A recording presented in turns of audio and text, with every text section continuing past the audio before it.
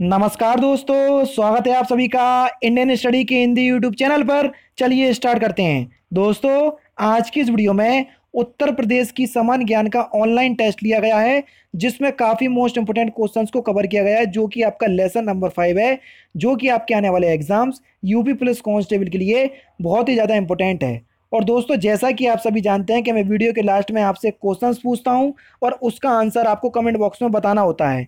तो आज मैं फिर आपसे क्वेश्चंस पूछूँगा और आंसर आपको कमेंट बॉक्स में बताना होगा, इसलिए वीडियो को अंत तक देखिएगा। दोस्तों, मैं अन पर ही पढ़ाता हूँ तो अन पर मुझे फॉलो करने के लिए डिस्क्रिप्शन में दिए गए लिंक से आपको अन का लर्निंग ऐप डाउनलोड करना है और वहाँ जाके आप मुझे फॉलो कर सकते हैं और मेरे द्वारा अपलोड किए कोर्सेज का लाभ उठा सकते हैं बिल्कुल फ्री में। जो लोग यूपी पुलिस कांस्टेबल की तैयारी बिल्कुल डिस्क्रिप्टेड वे में करना चाहते हैं तो आप अन अकेडमी पर मुझे आज ही फॉलो कर लीजिए। मैं डिस्क्रिप्शन में एक कोर्स का लिंक प्रोवाइड करवा दूँगा तो आप एक बार ज़रूर से चेक कर लीजिएगा। चलिए दोस्तों स्टार्ट करते हैं और देख लेते हैं पहला क्वेश्चन कर्मा किस क्षेत्र का लोक नृत्य है, ये हमको बताना है। पहला क्वेश्चन आपके सामने ये रहा। सोनभद्र, महोबा, मथुरा या खीरी? कर्मा के बारे में हम बात कर रहे हैं। लोक नृत्य जो है वो आपके एग्ज़ाम में बहुत ही ज़्यादा पूछे जाते हैं। तो कर्मा जो आपका लोक नृत्य है, ये आपका सोनभद्र का लोक नृत्य है। कहाँ का दोस्तों? सोनभद्र का। यानी कि इस क्वेश्चन का पहला ऑप्शन जो होगा बिल्कुल करेक्ट हो जाएगा।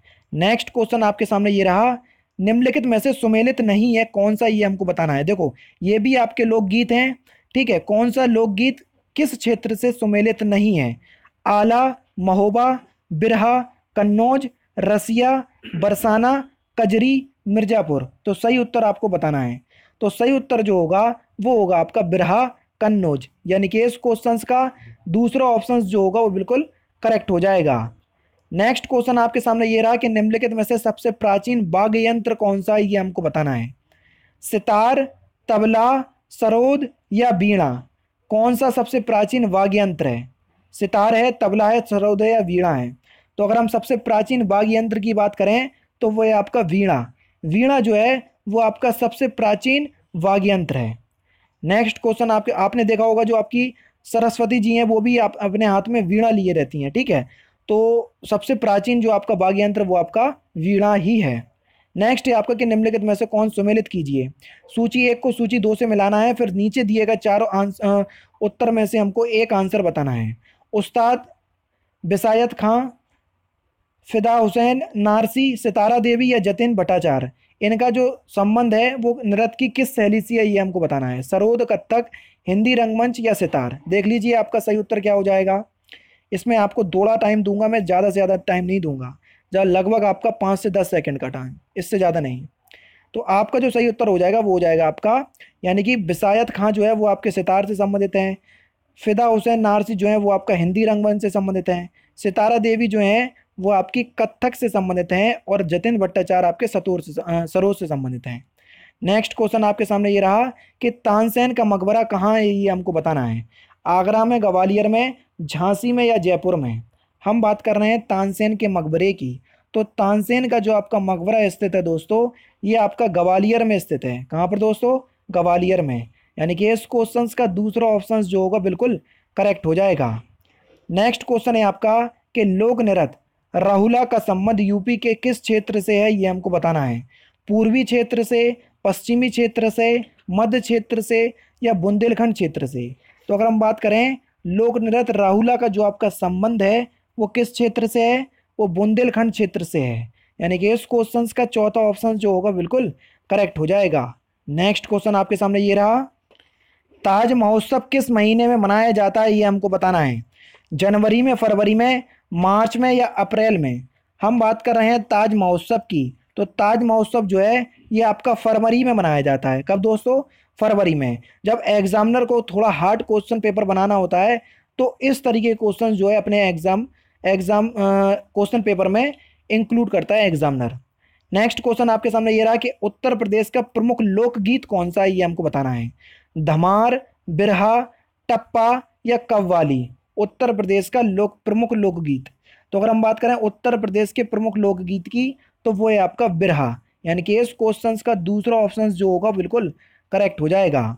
नेक्स्ट क्वेश्चन आपके सामने ये रहा कि कौन सा लोक नृत्य ब्रज क्षेत्र का है, ये हमको बताना है। छोलिया नृत्य, नटवरी नृत्य, चरकुला नृत्य या जोगनी नृत्य। हम बात कर रहे हैं लोक नृत्य ऐसा जो ब्रज क्षेत्र का हो। तो सही उत्तर आपका क्या हो जाएगा? सही उत्तर हो जाएगा दोस्तों आपका चरकुला नृत्य यानी कि इस क्वेश्चन का तीसरा ऑप्शन जो होगा बिल्कुल करेक्ट हो जाएगा। नेक्स्ट है आपका कि सैयद सलार मेला कहाँ लगता है, ये हमको बताना है। बहराइच में, फतेहपुर सीकरी में, वाराबंकी में, गोंडा में। तो जल्दी से बताइए कि सैयद सलार जो आपका मेला है, वो कहाँ लगता है? तो सैयद सलार जो आपका मेला है, ये आपका बहराइच में लगता है। यानी कि इस क्वेश्चन का पहला ऑप्शन जो होगा बिल्कुल करेक्ट हो जाएगा। सैयद सलार मेला आपका बहराइच में लगता है। नेक्स्ट आपका निम्नलिखित में से कौन सुमेलित नहीं है? देवा शरीफ बाराबंकी बिल्कुल ठीक है। कर्मा मथुरा, आला महोबा या कजरी मिर्ज़ापुर? कौन सा आपका सुमेलित नहीं है, ये हमको बताना है। तो सही उत्तर हो जाएगा आपका कर्मा जो है, वो आपका मथुरा। यानी कि इस क्वेश्चन का दूसरा ऑप्शन आपका बिल्कुल करेक्ट हो जाएगा। नेक्स्ट क्वेश्चन और बहुत ही ज़्यादा इंपॉर्टेंट क्वेश्चन कि लठमार होली उत्तर प्रदेश में कहाँ मनाई जाती है? वरसाना में, वृंदावन में, मथुरा में या गोकुल में? तो दोस्तों, अगर हम बात करें लठमार होली की तो लठमार होली जो है, वो आपकी बरसाना में मनाई जाती है। कहाँ पर दोस्तों? बरसाना में। यानी कि इस क्वेश्चन का पहला ऑप्शन जो होगा, बिल्कुल करेक्ट हो जाएगा।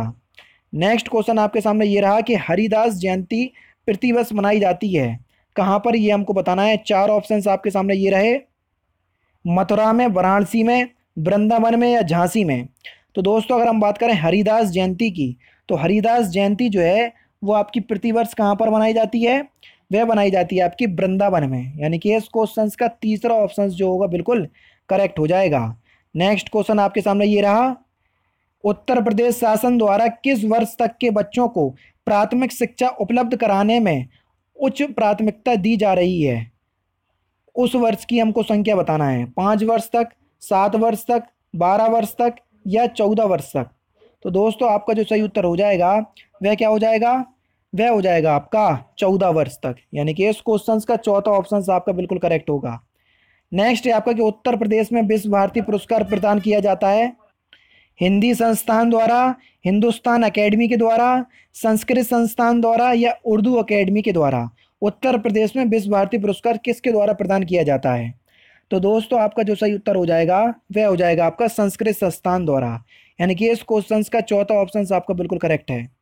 नेक्स्ट क्वेश्चन है आपका कि निजी क्षेत्र के उस विश्वविद्यालय को चिन्हित कीजिए, जो उसके सापेक्ष दिखाए गए स्थान में सुमेलित नहीं है। यानी कि कौन सा विश्वविद्यालय जो है, जहाँ पर स्थित नहीं है, जिस जगह पे है, बस वही आपका सही उत्तर हो जाना चाहिए।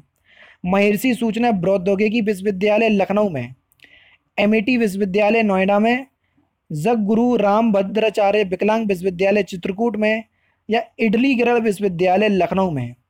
तो दोस्तों, आपका जो सही उत्तर हो जाएगा, वह क्या हो जाएगा? वह हो जाएगा आपका एमएटी विश्वविद्यालय नोएडा में। यानी कि इस क्वेश्चन का दूसरा ऑप्शन आपका बिल्कुल करेक्ट है।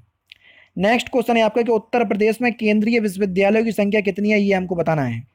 पाँच, छः, चार या तीन। तो दोस्तों, अगर हम बात करें उत्तर प्रदेश में, केंद्रीय विश्वविद्यालयों की संख्या की तो वह आपकी चार अब कई लोग सोच रहे होंगे छः तो दोस्तों, अभी आपके जो, बाकी के जो हैं, वो अभी आपके बिल्कुल इंक्लूड नहीं किए गए, अभी कार्यरत हैं। जैसे ही वो बनकर तैयार हो जाएँगे, तब जाके आप इस सूची में इंक्लूड कर सकते हैं। अभी अगर आपके सामने ये क्वेश्चन आए तो आपको चार ही लगाना पड़ेगा। नेक्स्ट है आपका और मोस्ट इंपोर्टेंट क्वेश्चन कि उत्तर प्रदेश को दूसरी राज्य की भाषा, जो आपकी उर्दू है, उसको कब स्वीकार किया गया, ये हमको बताना है। उन्नीस सौ सतासी में, उन्नीस सौ अठासी में, उन्नीस सौ नवासी में या उन्नीस सौ नब्बे में? तो दोस्तों, आपका जो सही उत्तर है, वो आपका उन्नीस सौ नवासी में। उत्तर प्रदेश की जो दूसरी राज्य की भाषा है, उर्दू, उसको उन्नीस सौ नवासी में स्वीकार किया गया। नेक्स्ट क्वेश्चन है आपका कि भारतीय भाषाओं की रक्षा व विकास हेतु हिंदुस्तान अकेडमी की स्थापना कहाँ की गई है हमको बताना है। आगरा में, वाराणसी में, लखनऊ में या इलाहाबाद में? तो दोस्तों, आपका जो सही उत्तर हो जाएगा वह हो जाएगा आपका इलाहाबाद में। भारतीय भाषाओं की रक्षा व विकास हेतु हिंदुस्तान एकेडमी की जो आपकी स्थापना है, वो इलाहाबाद में की गई। नेक्स्ट क्वेश्चन, लास्ट क्वेश्चन और इम्पोर्टेंट क्वेश्चन। प्रदेश में मिड डे मील कार्यक्रम जो है, वो कब से आरंभ किया गया? उन्नीस सौ पचासी से, उन्नीस सौ नब्बे से, उन्नीस से या उन्नीस सौ पंचानवे से? तो दोस्तों, अगर हम बात करें मिड डे मील कार्यक्रम की तो मिड डे मील कार्यक्रम जो है, वो प्रदेश में कब से स्टार्ट किया गया? ये उन्नीस सौ पंचानवे से स्टार्ट किया गया। यानी कि इस क्वेश्चन का चौथा ऑप्शन जो होगा वो बिल्कुल करेक्ट हो जाएगा। तो दोस्तों, ये थे आपके 20 मोस्ट इंपोर्टेंट क्वेश्चंस जो कि मैंने आज की इस वीडियो में आपको पढ़ा दिए। अब आपको ईमानदारी के साथ बताना है कि आपके 20 में से कितने क्वेश्चंस सही हैं। अब मैं आपसे क्वेश्चंस पूछने जा रहा हूँ और उसका आंसर आपको कमेंट बॉक्स में बताना है। तो आज का जो आपका क्वेश्चन है वो ये रहा आपके सामने। इलाहाबाद उच्च न्यायालय का जो आपका गठन है या स्थापना जो है वो कब की गई है हमको बताना है? उन्नीस सौ सैंतालीस में, उन्नीस सौ छप्पन में, उन्नीस सौ छियासठ में, उन्नीस में। तो सही उत्तर आपको कमेंट बॉक्स में बताना है। तो दोस्तों, फ़िलहाल की वीडियो में सिर्फ़ इतना ही। अगर आपको वीडियो पसंद आए तो प्लीज़ वीडियो को लाइक लाइक कीजिए, शेयर कीजिए और साथ ही साथ मेरे चैनल को सब्सक्राइब करना ना भूलें, क्योंकि मैं रोज़ाना इसी तरह की वीडियोस आप लोगों के लिए लाता रहता हूँ। नमस्कार दोस्तों। जय हिंद, जय भारत।